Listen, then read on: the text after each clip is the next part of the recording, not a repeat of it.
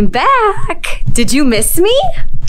So, it is just me this week because Davis is gone, flying on his hurricane block. I just got back from mine, but now he is uh, kind of on call in case any storms pop up, and he will be the one flying them this time around. So my husband and I took part-time jobs with the Hurricane Hunter so that we could have more time to start our furniture business here in Houston. And this is our busiest time of the year because we're in the middle of summer, it's peak hurricane season, so both of us are in and out flying storms and going out to our Air Force units, but also so believe it or not, we're preparing for the holiday season already in our business. We've had so much going on in and outside of our businesses. So honestly, the focus of our businesses and our and our YouTube content has been the outcome of the businesses and the outcome of YouTube videos rather than the process of how exactly we got there. And the process of what we've been doing in our business, both the furniture side and the media side, involves a whole lot of other people. We've had a lot of people involved behind the scenes able to make possible what we do on a daily basis. So let me introduce you to our team.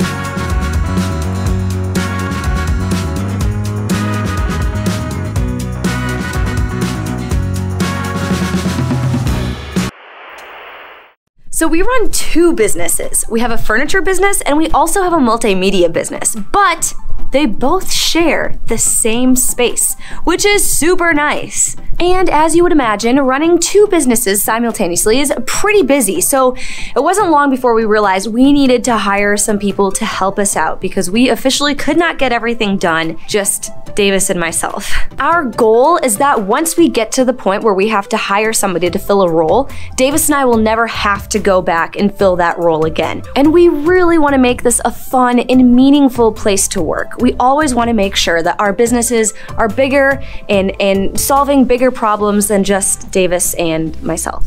Okay, so let's take you all on a ride for what a regular day looks like. So, Kaitlin, what are we doing? We are scripting this week's YouTube video. Yes. It will be live, what, tomorrow?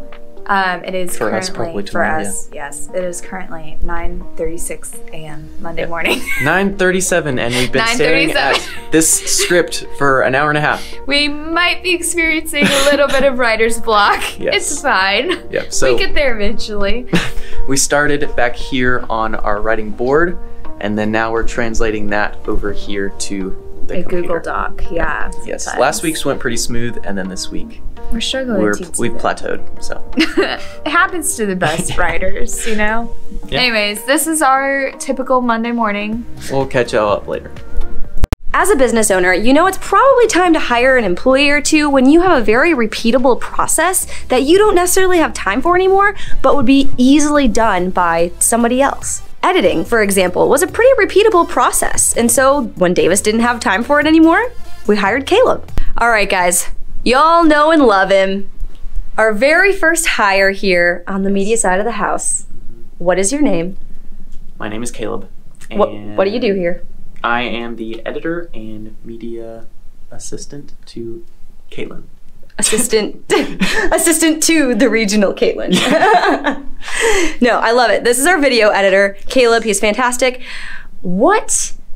Let the people get to know you. What could you give a 40 minute presentation on with zero preparation? Zero. I would need no preparation. So, most people don't know this about me, but I am a very big sock person. Um, I own 80 pairs of silly socks that I just decide what I'm going to wear that day based on how I'm feeling, my personality.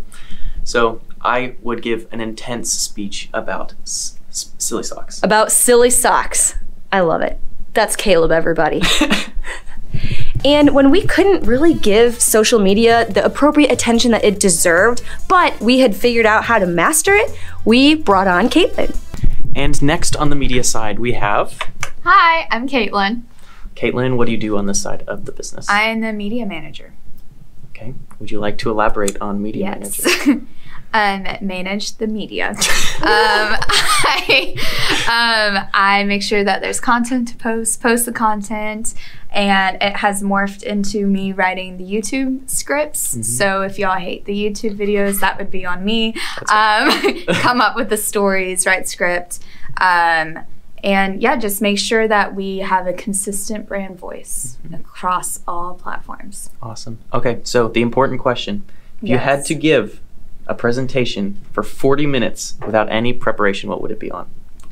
So I have two answers. Um, one of which I don't know if counts because I have been known to give quite a lengthy presentation on Dolly Parton.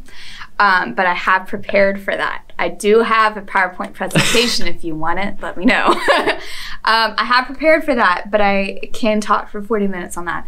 Um, the other thing I haven't prepared for, but I could quite possibly fill 40 minutes with, is um, history of interiors and interior design and architecture. Nice. Studied it. Think it's super fascinating. I love it. Not a whole lot of people think it's cool, but I do. That's what I could fill 40 minutes talking about. Awesome. And by far, our most repeatable process through and through is our board fulfillments. So we wanted to hire somebody to help us fulfill, which meant we needed to make more sales to pay for fulfillment folks. This is Adi. He's been helping us out with uh, cutting board fulfillments. What's up? What's your name? Uh, my name's Adi. And what do you do? And I am in the warehouse. I like help J- Davis with whatever he does. Um, I'm a boxer. I'm a master boxer, and not that boxing, but making the boxes. What could you give a 40 minute presentation on with no preparation? Um, so basically, I'm, I'm a cook. I'm a world renowned chef, and I just love to cook anything. And so if I had to give a presentation on that, I can like teach someone in 40 minutes how to cook a dish. So what made you want to work here? What made me want to work here it was just like it was surrounded by people i love and um, care about and they were just it seemed like they're doing a great job here. And me. Oh yeah yeah yeah. And you. And I, I, knew you guys from before and i knew like it would be a fun environment to work in and i was available to ha- work a job. And so i was just like why not why not choose samara company? I like it. Samara sounds indian too. So. I, I, thought it. I, I it does. I never thought about it that way, but yeah. it does. That, that that that was really the selling point. nice. All right, we have our newest hire, Sydney, hey. and um, well, what's your name? My name is Sydney Escamilla. Yeah. Perfect. And um, what do you do here with us? Uh, whatever Jennie and Davis tell me to do. Out in the warehouse, though. In the warehouse, yes, yes. yes. So he's out in the heat but yes. he is only here in the mornings. Yes. To try to beat some of the heat. Yes. We are in Houston. Um, and then why did you want to work here? Um, well, I am a full time musician and very good. I needed to do something that got me out of bed uh, and not just lay around during the day. Because most of what I do is in the afternoons and evenings. If you can give a 40 minute presentation with zero preparation, what would it be on? I would say that it would be on Paul McCartney and maybe his effect on the Beatles. If that makes sense. Yeah. Because I, I, mean, he, he was a part of the Beatles, obviously, but like, how I mean, he he he was like the the grinding guy in the Beatles, and just had I think it's it can be argumented, but even a little bit more than John Lennon was maybe a little bit more effective in music. And Sally's been selling so much that we were able to hand off some of the fulfillments to other people.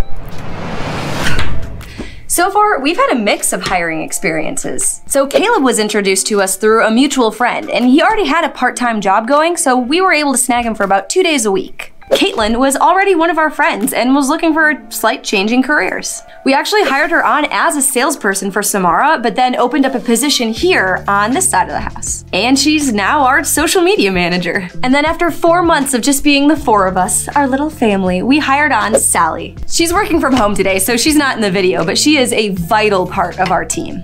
She actually came to us through one of the realtors that buys and uses our boards as closing gifts. She was looking for a change in careers after, gosh, like 13 years in real estate, which is amazing. So we're lucky to have her, and it's been great.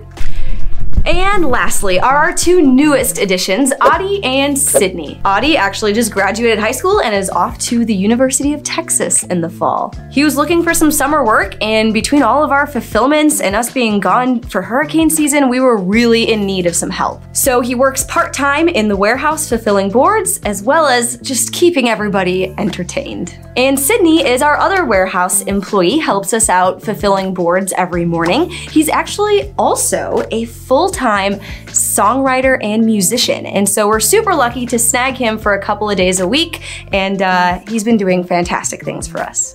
So I do currently have some job postings on like Indeed.com, uh, LinkedIn, online sources like that, but we've really had the best luck hiring people just through word of mouth. So while Kaitlin and I are doing the script for the YouTube video, Jennie is out in the warehouse doing some board fulfillments.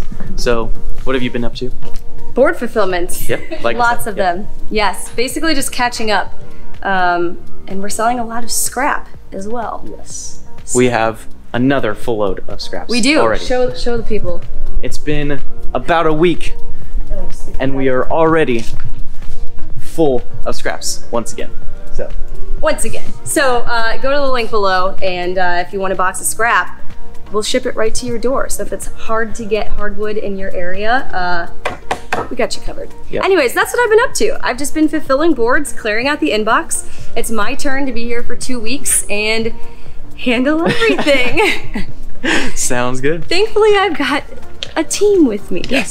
so That's helpful. what we are here for. Yes. So Davis and I first learned our like managerial skills or our people managing skills, I guess, from the Air Force. Um, I actually started supervising people in the military at a younger age than I thought I would, uh, just because some people ended up moving around in my job position. But I am so thankful for those experiences that I had, um, learning how to supervise and just manage people as a whole. And I'd say the main difference between supervising people in the Air Force versus in our businesses is that when you go into the Air Force, they pretty much have everything figured out for you already. It's all organized, there's set job descriptions, set tasks, and you just have to teach people how to do it. But in your own business, you have to design the tasks and the organizational structure and all the checklists and everything. And before you can expect an employee to come in and do it 100% correctly, you have to have done it 100% correctly yourself first. Something that really helps when you're hiring a new employee is figuring out what excites them and how you can incorporate that into their everyday role. They will show up 100% ready to perform their job if they feel like there's something worth doing, that they're excited for. There's a reason they're coming into work today that they care about. We've honestly adjusted a lot of our employees' roles the longer they've been here and the more we get to know them because we understand what they like to do, what really lights them on fire, and what makes them excited to come in every single morning. And that's something I learned in the Air Force is that as you transition into more of a managerial role, sometimes you forget what it's like to be on the ground floor and, and doing the actual job. And then that gets frustrating to the technician who's doing that job every day because they feel like you don't understand what they're going through or what they're doing. It's been so long, and sometimes you just have to step back and remember what it was like to be on that ground floor as the technician doing the day to day job. And that's something we really try to keep in mind as we bring more people on the team.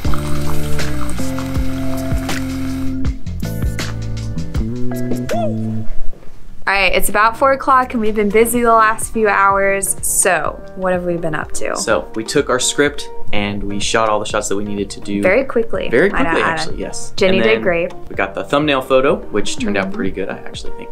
And then we shot all the B-roll and all the stuff that's added into the video. And now it's about four o'clock and we're ready to go home ready to go home. We are so thankful for all of the growth that we've experienced so far, but if we want to keep growing, we need to hire more people. And that is where you come in. We're still hiring sales specialists for Samara Table Company. So if you know somebody who's local to Houston, who's looking for a sales related position, we would love to hear from them. Just fill out our Google Forms link down below in the description. Please, serious, serious inquiries only. And stay tuned to see how I survive the next two weeks by myself without Davis. Wish me luck.